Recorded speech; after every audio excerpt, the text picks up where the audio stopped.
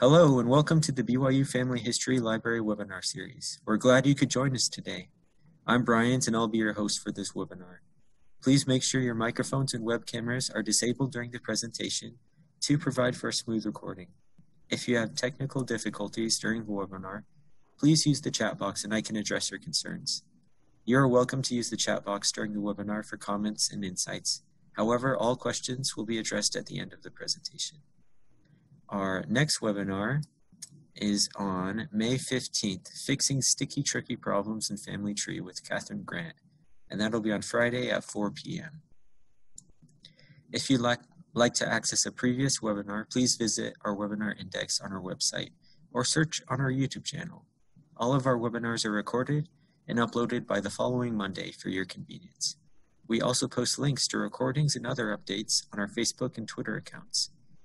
For today's webinar, we are pleased to hear from Suzanne Hoffman, who will, giving, who will be giving a presentation on immigration and naturalization records from 1790 to 1945. And if Suzanne is ready, then we'll turn the time over to her. Okay, thank you, Bryant. Good afternoon, everyone. Uh, my name, as Bryant said, is Suzanne Hoffman, and I'm joining you from Chicago, where I'm a professional forensic genealogist and a longtime volunteer at our local Family History Center. My background in immigration and naturalization comes from the fact that my longest standing immigrant came from Eastern Europe in the 1840s. So, uh, in truth, to navigate my way through doing genealogy, I have to be an expert in naturalization and immigration. So with that, we're going to move right in. Uh, let's look, take a look at the agenda that we're going to go through for the um, uh, presentation. We're going to talk about a history of naturalization, why naturalization was necessary, uh, some immigration statistics, changes to the laws and requirements, the types of files that are generated through our systems, and how to request those files. Now we're going to be doing a little bit of backwards and forwards here um, but everything's based on time frames. Uh, we're going to talk about immigration in time frames. We're going to talk about naturalization in time frames. So my thanks to Marion Smith. Uh, she re recently retired from the U.S. Citizen and Immigration Services, USCIS, after more than 30 years as the historian for the agency and its predecessor, the Immigration and Naturalization Service, INS. So Marion focused on the federalization of immigration policy during the 19th and 20th centuries while championing access to records and records management. If you ever have a chance to hear her speak, don't hesitate. What we can glean from the federal records today is largely in part due to her efforts over the past 30 years. And I'm going to, this slide will be at the end as well, uh, but it's very clear when we're talking about INS records, Immigration Naturalization Service records, versus USCIS records. USCIS didn't start until the mid 20th century. Those are all the records that we talk about the C files, the A files, the AR2 files, registry files, all the new files that have been generated for immigrants coming in. All of our older records actually only go back to the very beginning of the 20th century uh, with immigration lists, the border manifests, the uh, shipping manifest, any correspondence, correspondence associated with that, um, and Prior to that, you've got customs lists. And we'll talk a little bit about what went on in the 18th and 19th century as a separate item.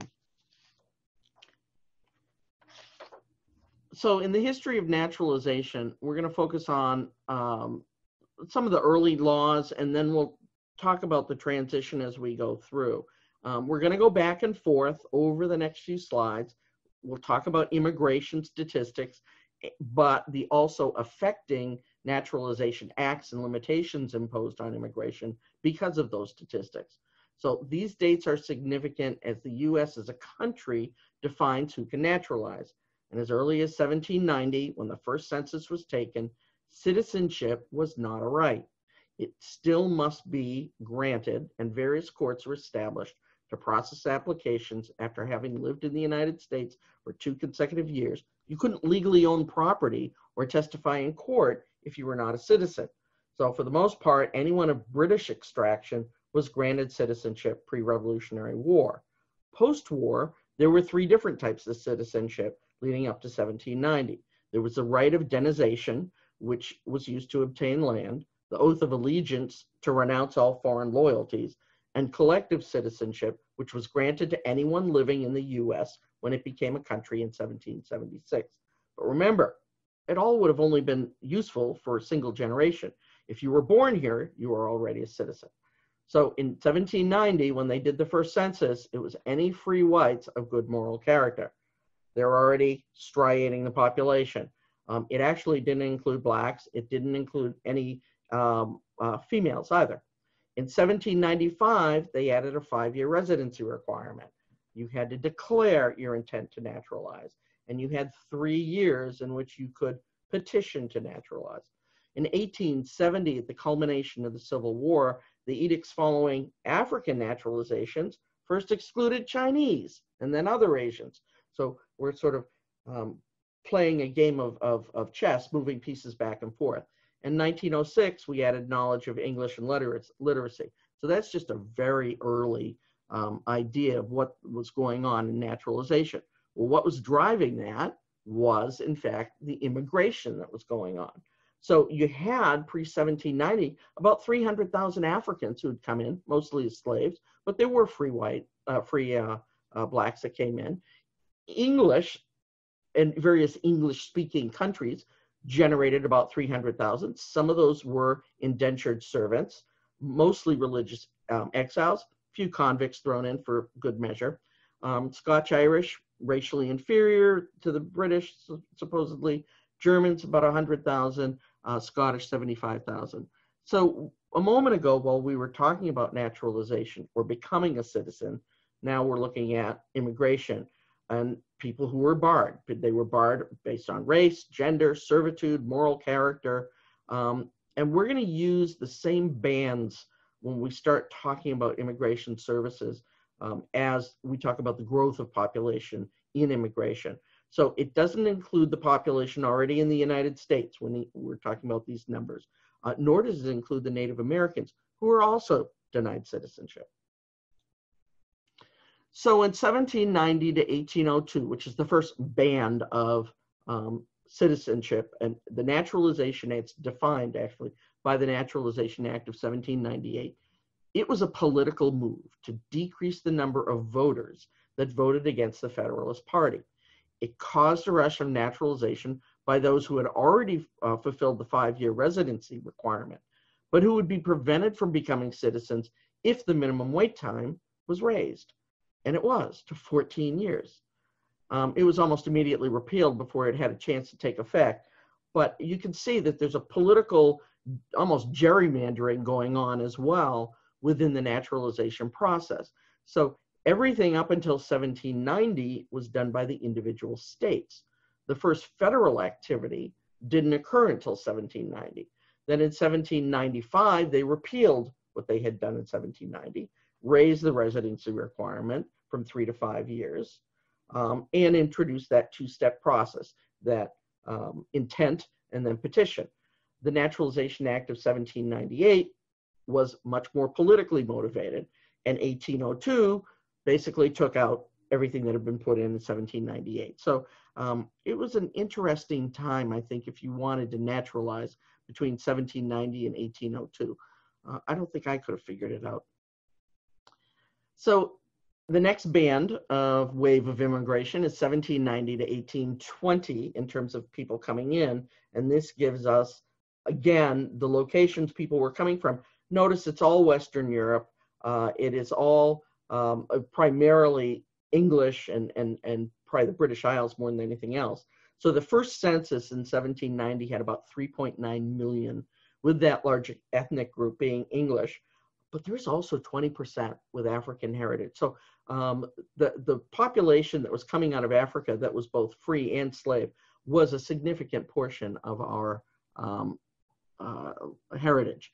So it's Thomas Paine, who originally was British but came to the United States. As he noted in 1790, after that first census was completed, he says the United States is becoming the asylum for the persecuted lovers of civil and religious liberty from every part of Europe. And in his pamphlet, Common Sense, he later noted that Europe, not England, was the parent country or countries of America. Uh, so in 1802 to 1901, which is a huge ban, there was a lot of activity, a lot of things that happened, and a lot of economic conditions in Europe that impacted the actual migration into the United States.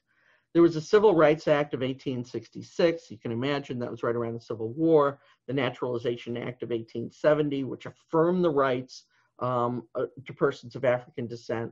The Page Act of 1875, which now imposed an immigration ban on Chinese women initially, and then in 1882 it was extended to Chinese men. And I'll talk a little bit more about that. Homesteaders, that got caught up in the naturalization process. You couldn't document your naturalization. You couldn't actually become a homesteader and owed land. That was, uh, we'll come into that later in a, um, talking about women and how women had ownership or couldn't. Uh, Civil War veterans could actually, the moment they signed up to fight in the Civil War, they could naturalize. Uh, Immigration Acts of 82 and 91 set federal standards and processes in place um, it basically was setting us up for the transition from uh, going to um, a, a, hodgepodge of, of federalization and notes and courts and things like that to a much more standardized uh, process and, and uh, solidification of the court systems. Uh, and then 1888 and 1891 allowed for deportation. So you could come over, they didn't like you, you could go back. Uh, and the Alien Contract Labor Law of 1885 which prevented importation of alien workforces. Notably, it was done after the Industrial Revolution when we needed those workforces. But the focus on China came about for a couple of reasons. Um, as we'll see in the next set of statistics, the Chinese were fleeing their country due to political unrest, poor economic conditions, and the lure of gold. In the 1850s, more than 40,000 Chinese immigrants came to California. They were willing to work for almost nothing and that tipped the balance and drove down the cost of labor to a level of servitude that kept real wages below a poverty level. This continued while the cross-continental railroads were being built. So here's that industrialization coming up on top of the um, gold rush. The gold rush starts to die down, industrialization comes up, we move the workforce from one to the other.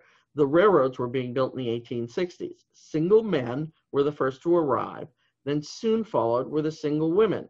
This created a challenge with camp followers and prostitution, which was quickly squelched by eliminating the right of a single Chinese woman to emigrate to the US. In 1882, when the need for cheap labor expired, the Act of 1882 was extended to Chinese men as well. These were the first laws imposed on an ethnic group immigration and foreshadowed the 1924 Natural Origins Act. So 1882 also imposed taxes, set up a screening process to exclude idiots, lunatics, convicts, or likely public charges. And you will see that all through the late 1800s when you're looking at the um, manifest, you'll see LPC in those who are detained. That means a likely public charge, which focused on children who are um, traveling alone women traveling alone or just with children who had no visible means of support. So, Then another band of immigration we look at is 1820 to 1880. And again, that's that broad expanse um, where we had all kinds of um, uh, challenges in Europe. So you see a huge amount. I mean, 3 million people now coming from the German Empire and the Austro-Hungarian Empire is a whole another thousand.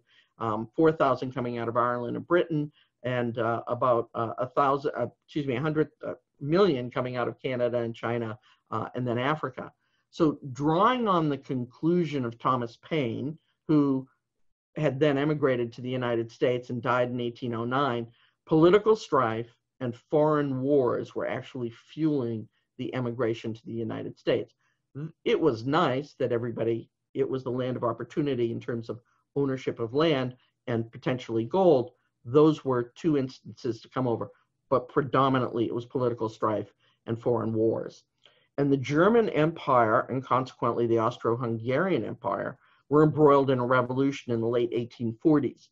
And German unification between 1864 and about 1871 compounded with the British and the Irish embroiled in their own struggle of home rule and everybody had crop failures. You had the Irish potato famine, you had deteriorating economic conditions throughout Western Europe. So there's a, a, a mass um, departure from Europe. I mean, there are statistics that come out of other countries. Uh, you hear uh, statistics coming out of Sweden that say almost a third of the entire population of Sweden left the country during these poor economic conditions to come to the United States. Uh, so it, there's some fascinating history on where people came and why they came. But uh, for the most part, they did come to get away from foreign wars and political strife. So I'm going to explain this a little bit. This is actually a, uh, a wonderful chart, but it comes at you with uh, multiple axes. And it happens to be from my old company, Tableau, um, that this was created in. So this is the Migration Policy Institute uh, creating tabular data. Now the term immigrants, which you can also think of as foreign born, refers to people residing in the US who are not US citizens at birth. So the, this population includes naturalized citizens, lawful permanent residents, certain legal non-immigrants, uh, people on work visas or students, those admitted, admitted under refugee or asylum status, and persons illegally um, residing in the US. So to read this table properly, the orange line is read against the left-hand vertical axis as a percentage of the population. And the blue line is the actual number of immigrants, which it which becomes just over 45 million in 2020. So recent facts from the USCIS indicates that just under half of the total number of immigrants have been naturalized, or in other words, granted citizenship so that they can vote. Um, so hopefully that uh, gives you a, a, pretty good image of, of where we've come from, the percentage of our population, but just the overall number of immigrants as people came in. Um, so again, uh, think of the, it's an empirical number on the blue line on the right hand axis and a percentage on the left hand uh, axis. And the years, of course, underneath. So the next banding is 1891 to 1906. 1892, of course, is the opening of Ellis Island.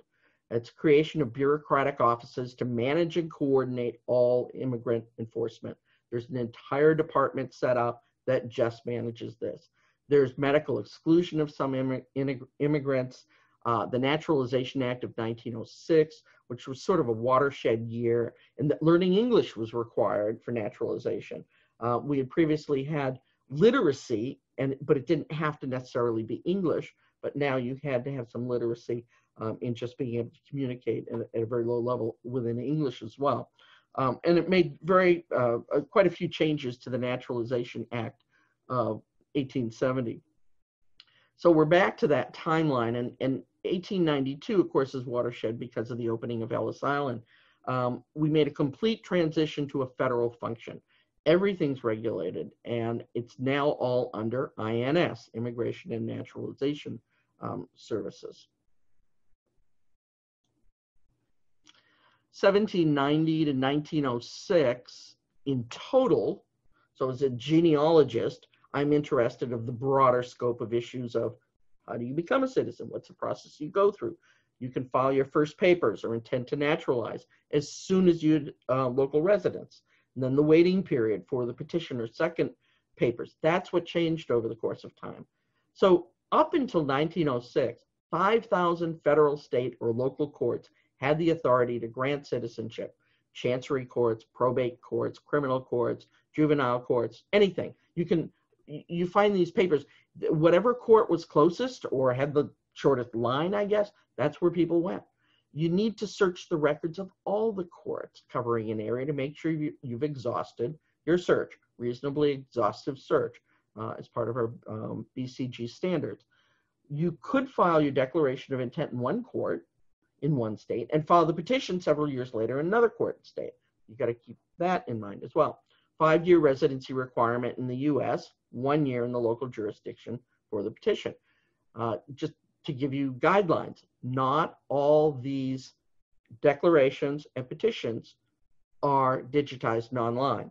Many of them are still in microfilm form. So that's a reason to make sure you go to the library, go to the Family History Center, um, because they may in, in fact have those microfilms that you need to find this information out. So back to immigration. Between 1820 and 1860, 5.4 million people arrived in the US out of that 45 million we were talking about. While four fifths came through New York, there were 70 other um, assigned federal immigration stations along the shoreline in the, in the uh, uh, East Coast and, and South, and 200 points of potential disembarkation. So while they said there were 70 immigration stations, those other, you know, 130 that are points of potential disembarkation, actually um, their records resided at the federal immigration stations, but they were also points of, of departure. So there's a lot of ports you can look at. Everyone thinks New York. Well, 20% didn't come in through New York, so you got to find out where those people came in. Um, immigrants often left their immigration ports without consideration of where they were going to. Think about it. There were far more places to go in the United States than there were to leave from in Europe, interestingly enough. So when you make it to a port in Europe and you're on your way out, what boat's leaving next? I don't care where it's going. Was sometimes I think the um, overarching decision making as to what boat or what ship they got on.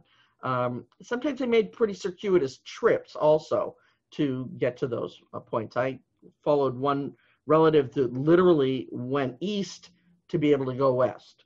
Um, and remember, more than seven, since 1790, more than 45 million people have arrived. So it's noteworthy that the there were brokers who dealt in European immigration. There were salesmen who traveled the countryside as representatives of the shipping companies from both passenger and merchant ships. Banks sold tickets, relatives sent tickets from the US to their homeland. There's a whole variety of ways to get from the sailing point to the US. So the hard part was getting to the sailing point. There are um, there aren't that many options. We we didn't have a a, well formulated railway system. Um, it, people were on foot. Uh, they you know it, it didn't know what ports. They didn't know what was between them and the port. Many of these people had never been out of their town. Uh, if you're um, in Eastern Europe, you'd never been out of the Gubernia, which is you know like the county. So this was a major upheaval to actually get to the departure point of the ship. And then everybody was examined before they got on the ship. The manifests for those ships were created in, before the um, point of departure. So you got to the point of departure, you paid the money, you had to show your travel documents, you had to be put onto the manifest. Because when you got to the United States, that manifest was offered to the immigration officers. And that's what they did all their research from. So we all know it's a myth. People names were changed, they were mispronounced. When you landed in the United States, you generally had someone who spoke your language as an interpreter helping you at Ellis Island or one of those other 70 immigration points. And they had the manifest of the ship that had been written before you departed that had all your information. And they all they were doing is making sure that you were the person that was um, coming into the country. So um, many immigrants traveled on ships that took extra cargo if there were room without the benefit of hospitable accommodations. Those transatlantic passenger ships that we think of, luxury liners, things like that, they were way too costly for most steerage class passengers. So most of the ships that people came on were pretty rudimentary. They, they, there wasn't a very uh, luxurious, luxurious bent to them. So this over time shows you how many people actually immigrated. It's another view. Um, you can see the annual growth by year. Before 1880, again, it was more mostly Northern and Western Europe. 1880 to 1915, you started to see Eastern Europe and Southern Europe pouring in. 1970 to today, you've got mostly Asian, Latin American, which includes Mexico. So, anyone want to guess why the spike in 1988? Well, Immigration Reform and Control Act of 1986 in which roughly 2.7 million undocumented foreign U.S. citizens obtained legal immigration status under the amnesty program. So that explains that spike out towards the end. So initially, 20th century immigration had been curtailed to reflect a population that existed before the turn of the century. So the Emergency Quota Act of 1921 established quotas originally based on the 1910 census, but then they backdated it to the 1890 census. Well, this was largely a European based population and much more reflective of the political and ecological climate um, than it was based on economic or social hostilities. It's sort of disheartening to note that the census upon which this is based is the one census that was burned, and of great misfortune to those of us genealogists who really need to be researching later 19th century immigration. My theory is that there was something in that 1890 census that lawmakers did not want to have be publicly known. The fire, as it were, was in the Commerce Building in 1921. Most of the census that had been inexpertly kept on shelves in the open in the basis of the basement of the building in which the fire started, um, which was for the most part flooded, not burned out. A large portion of the census questions on the 1890 census dealt with race, origins, and origination. Um, we're going to hear more about that when I talk about the 1924 Act. But basically, in the 20th century, immigration is turned into a limitation of who you know and lottery systems. A random person trying to immigrate into the US will have a hard time unless they fit into a profile as a refugee, one needing political assignment, asylum, or you already have a family that's here. Now, I want you to note a couple of other things. In 1907, no persons with physical or mental defects no one under 16 without parentage. There was a lot of lying going on.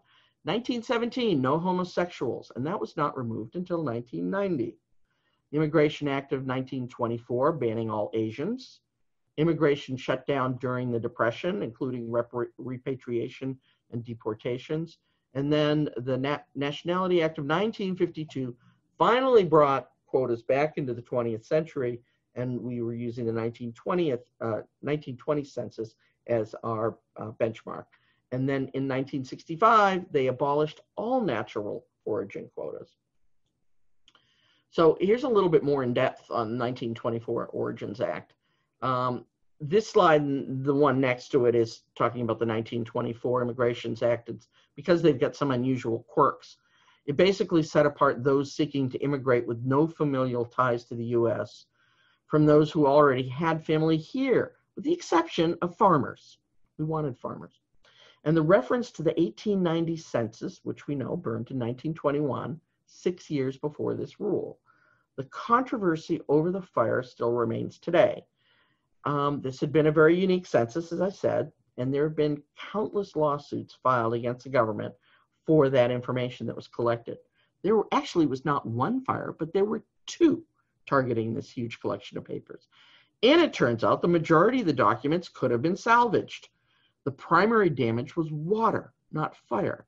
There were some that were sin- singed around the edges, but for the most part, they expected that almost 75% of what they eventually trashed could have been saved. The rest, they were thrown away between 1933 and 1935.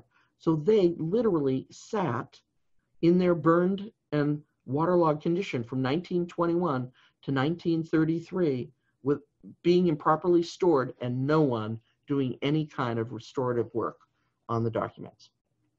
So the key to this is if you look at what happens in the Natural Origins Act, what we're actually doing is getting away from who are you, where you coming from, to total populations as a nationality, um, and then establishing quotas based on birth or ancestry as of the total population in the US. In other words, we're going to mirror the population that already exists here and establish quotas based on that population.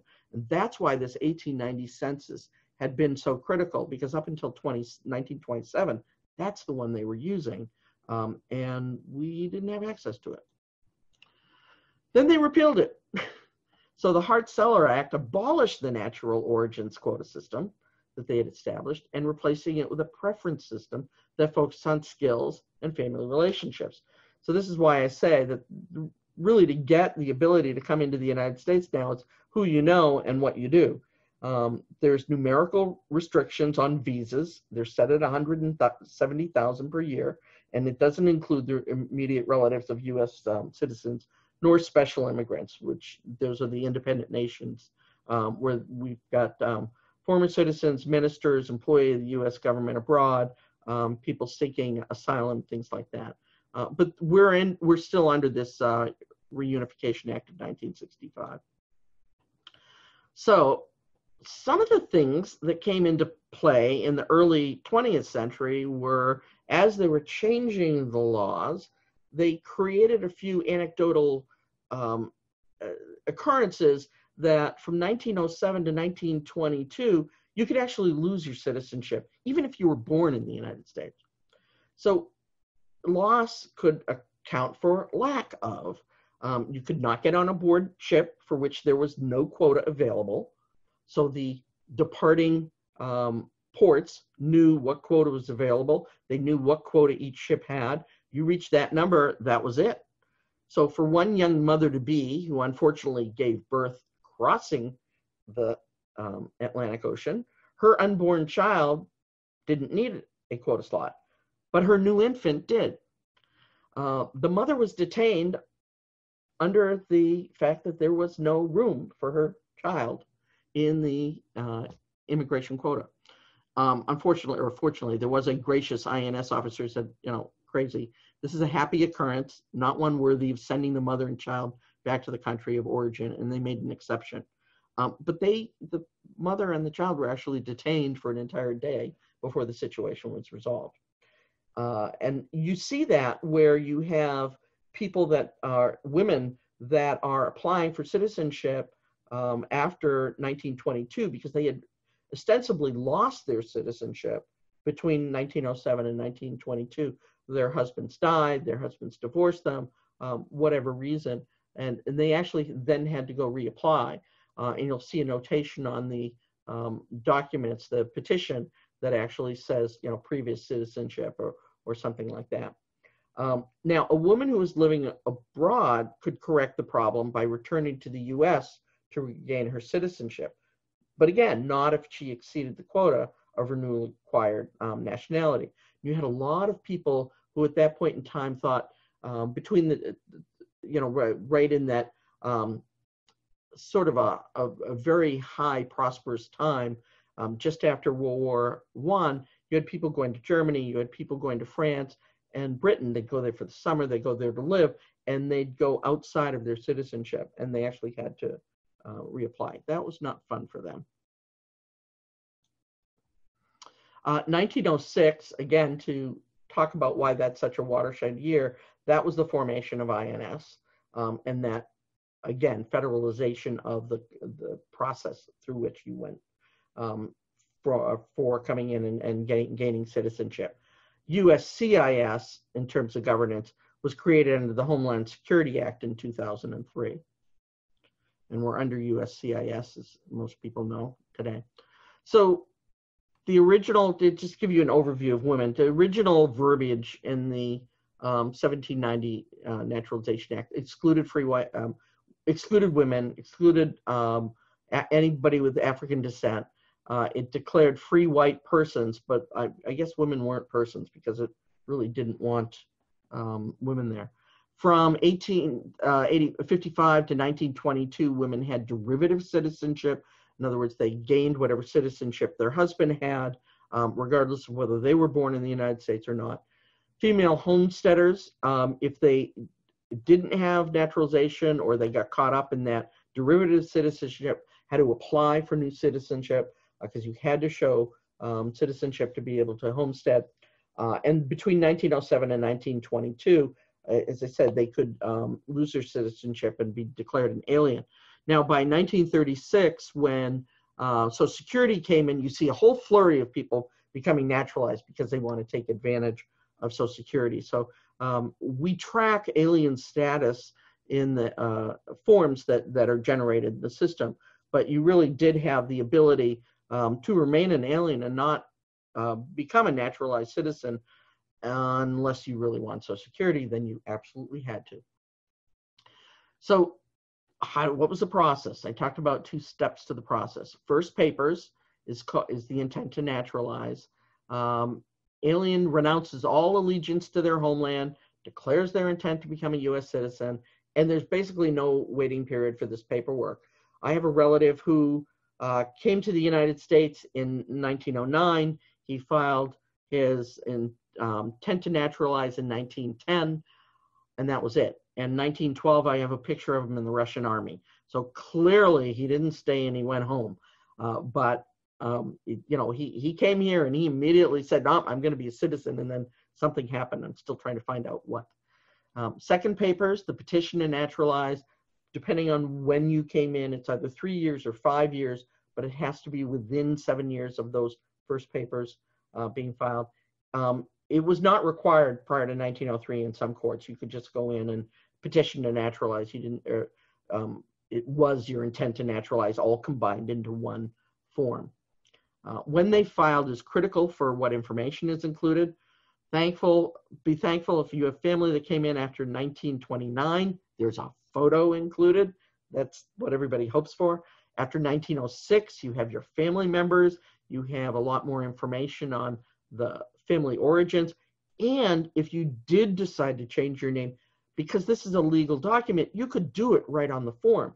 So you have a lot of people who came over who Americanized their names, and you'll see the name on the bottom of the form um, right underneath where it says what ship they came over on, what name was on the manifest, and the AKA um, is the name that they're uh, naturalizing under, which is their formal name change, and there was no other documentation that was needed um, for that name change at that time. Um, types of files that exist in the um, uh, in uh, NARA, whether you're going up to College Park or you're going to Washington, D.C., or you're going to your local um, um, office of, of records. Um, you've got a uh, certificate file, which is a C file. It has all of the federal records relating to naturalization in any court. Um, it replaces um, the old naturalization certificates. Um, now that and that prompts the certificate of citizenship for derivative or repatriation or resumption files.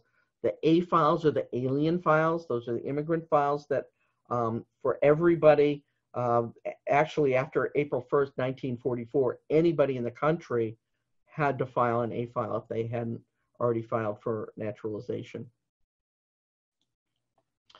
Um, and we're going to see that picture again that I showed you from Marian Smith in a moment. Um, other types of files, those registry files are records which document the creation of the immigrant, immigrant's arrival records um, for anyone between uh, 1924 and for whom no arrival record could later be found. So I have a, a relative where, um, you know, we, we absolutely, we see no um, information, but we've got his naturalization certificate, but we have no immigration information. We have no other um, files that appear to be formed. He has a registry file because of that.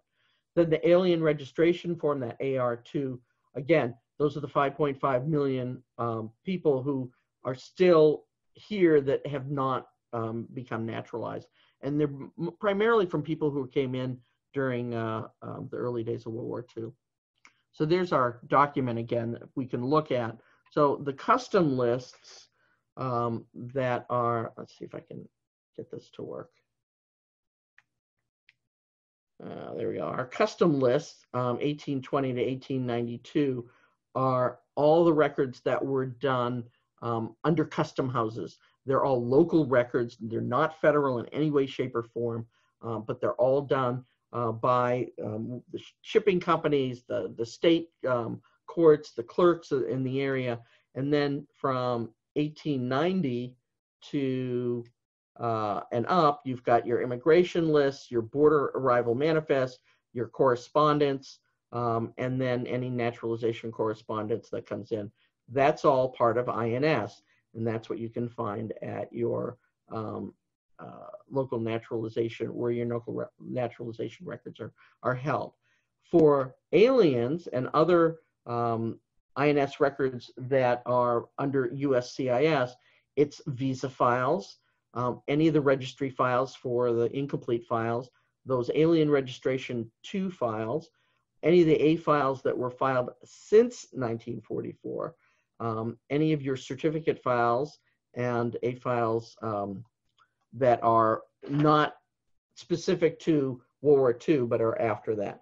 So there's a clear definition of based on when you were in fact naturalized or when you immigrated, where those records are going to be held. Now, we all want them to be held at Family Search and, and Ancestry and My Heritage um, and Find My Past and Heritage Quest, and they all are.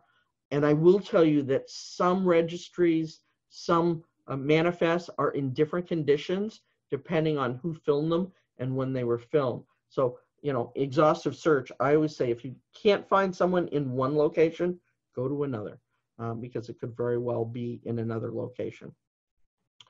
So how do you do it? How do you research it? How do you figure out where you're going? Um, within USCIS, they have a genealogical section, genealogy.uscis.dhs.gov, and it's a fee for service program that provides researchers with a way to figure out where they're going to, how they're going to get the records.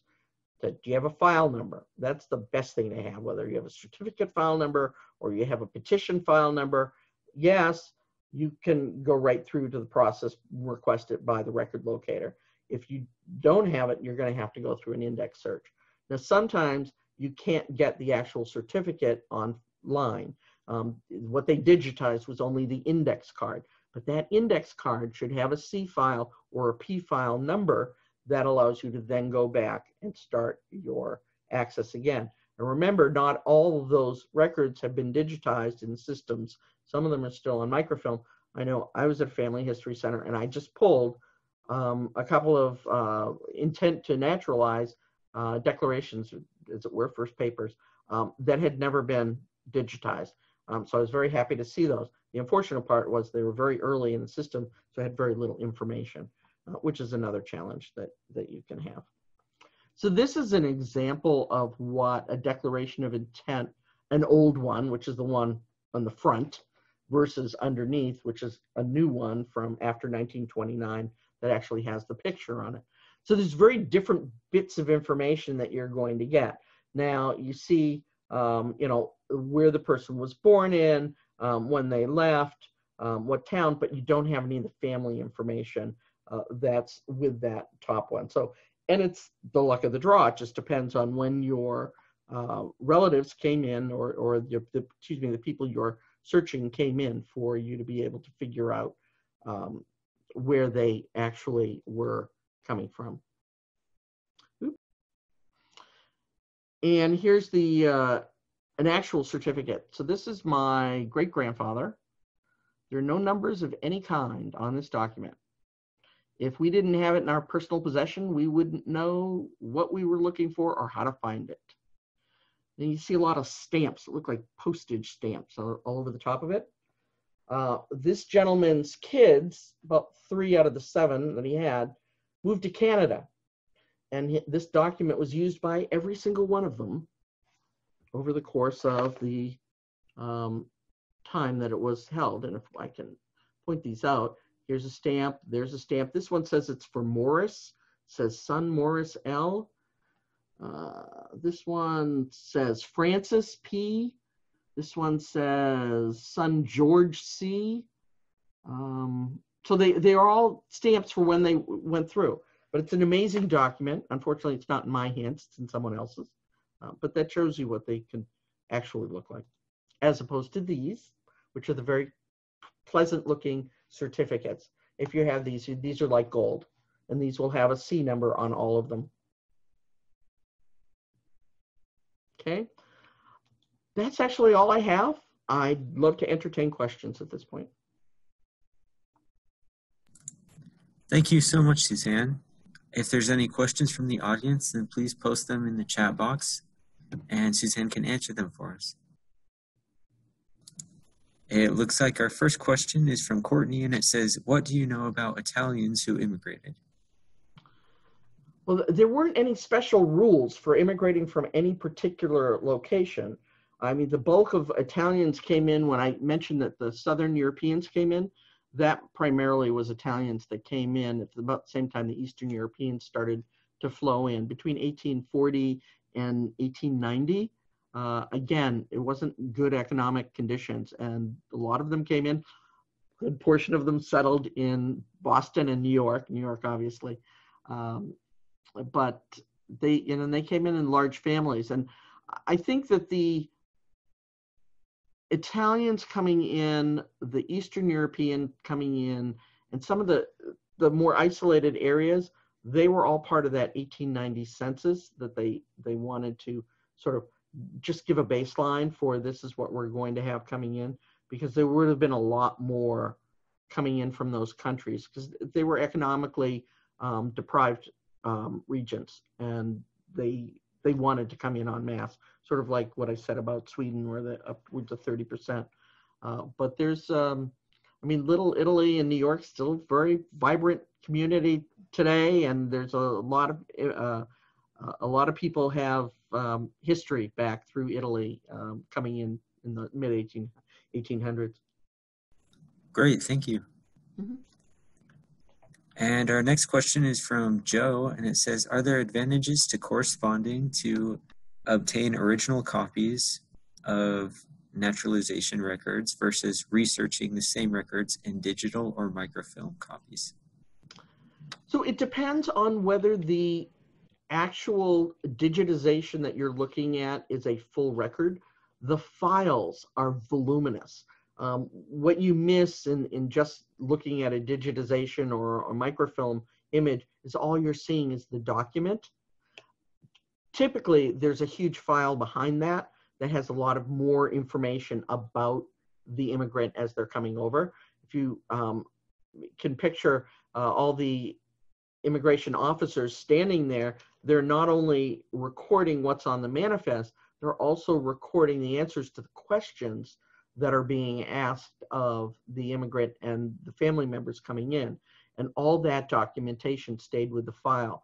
So especially if they were detained for any reason or um, they're, uh, you know, they didn't become naturalized or they took time to become naturalized, there's a file. So you really want that underlying documentation and be worth the request. Now, I'll add one more piece. The unfortunate um, challenge that we're in right now is the uh, there's a proposal to raise the fees. Uh, typically, getting records from uh, NARA, um, College Park, uh, used to be a baseline of $65 to actually get the uh, paper copies of the naturalization documents. And it would vary depending on what files they needed, whether they were going into alien registration files or into naturalization correspondence, um, it might cost anywhere from the 65 to you know 150 180 dollars. Right now they're talking about making the baseline such that it would cost upwards of five and six hundred dollars for any file that's requested. So the baseline would be for just the paper copy of almost $300 and then for the correspondence it would be on top of that. So uh, there's a petition that was sent around in the in the end of 2019 trying to prevent that from happening because it basically is dinging all of the uh, genealogists around the world. I haven't heard in the COVID-19 um, debacle, I haven't heard what they've done with that, but it would be disastrous to raise the um, rate for these uh, papers. So if you have an interest in getting a hold of documents, I'd do it now before they figure out what they're going to be charging people for the future. Perfect. And follow-up question, is that file only found in federally managed naturalizations or are there also case files in the various courts prior to 1906? Um, there aren't. Um, so they've got all the case files that were in the um, state. If they were part of um, the immigrate the uh, naturalization process, have been ferried into the federal files. They've been uh, the only thing that's available in the state is the actual image of the um, documents that were retained. They did they really didn't um, maintain any of the notes um, that had been in the files. Perfect, thank you. And if there's any other questions from the audience, um, please post them in the chat box. And looks like we have one more question from Joe. Do you have tips for navigating the online naturalization records? They are organized somewhat oddly, especially on Ancestry. Yeah, they are. Uh, I tell you, here's my trick for doing it. You never go in with the name of your immigrant and try and find the records. What I try to do is find the court that they're associated with. So if they're um, they were in circuit court in Chicago, I would go into the circuit court files and then research my individual. Um, if it's post 1906 and you're only dealing with the federal records, uh, sometimes it's a little bit harder. Um, SteveMorse.org is a perfect place to go because it gives you a lot more um, ways to define who you're going to be looking for, especially if you don't know the spelling of the individual and the names. It, they've got a better um, indexing um, system so that it can uh, locate based on Soundex. Uh, it, it's it's an easier way. You can actually look at all the different locales um, that you might have um, come into, all the ports, or you could look at specific ports. So you can do it by geography. Uh, you can do it by time frame. You can do it by ship's name. Uh, there's a, a, myriad of breakdowns that makes it much easier to do it than Ancestry. Um, but I agree, they've it was um, what's a good way to put it? Um, it? It was spontaneous in terms of how they managed to put those files together, and they don't quite make good physical sense if you want to do searching. That's not what they were originally were digitized for. So I think they were just for um, permanent storage. And now, of course, we want access to them, so we need a better way. SteveMorse.org. That would be my choice. Thank you, Suzanne. You're welcome. Okay. If there's no more questions, then thank you so much uh, once again, Suzanne, for presenting. And uh, thank you, everyone, for joining us as well. Um, we'd like to remind you about our webinar coming up next week on May 15th, Fixing Sticky Tricky Problems in Family Tree with Catherine Grant. And that'll be Friday at 4 p.m. So we hope you join us for that and have a great day.